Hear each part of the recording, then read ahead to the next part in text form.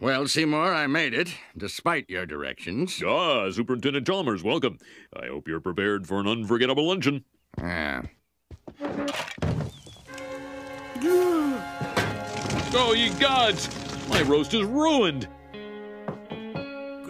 What if I were to purchase fast food and disguise it as my own cooking? Ho, ho, ho, ho, ho. Delightfully devilish, Seymour.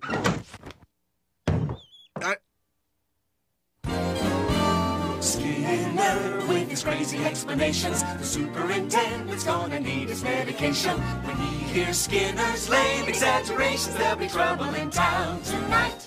Seymour! Superintendent, I was just uh, stretching my calves on the windowsill. Isometric exercise. Care to join me?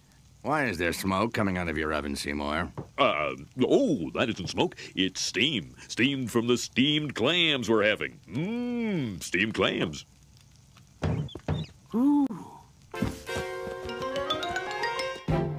Superintendent, I hope you're ready for mouth-watering hamburgers. I thought we were having steamed clams. No, no, I said steamed hams. That's what I call hamburgers. You call hamburgers steamed hams? Yes, it's a regional dialect.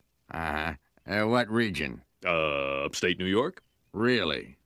Well, I'm from Utica, and I've never heard anyone use the phrase steamed hams. Oh, not in Utica. No, it's an Albany expression. I see. You know, these hamburgers are quite similar to the ones they have at Krusty Burger. Oh, no. Patented Skinner Burgers. Old family recipe.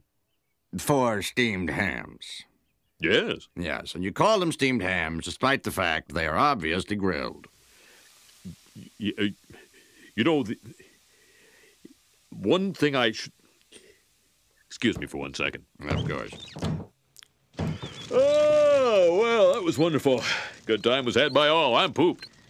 Yes, I should be. Good Lord, what is happening in there? Aurora Borealis? Uh, Aurora Borealis. At this time of year, at this time of day, in this part of the country, localized entirely within your kitchen. Yes. See it? No. Seymour, the house is on fire! No, Mother, it's just the Northern Lights.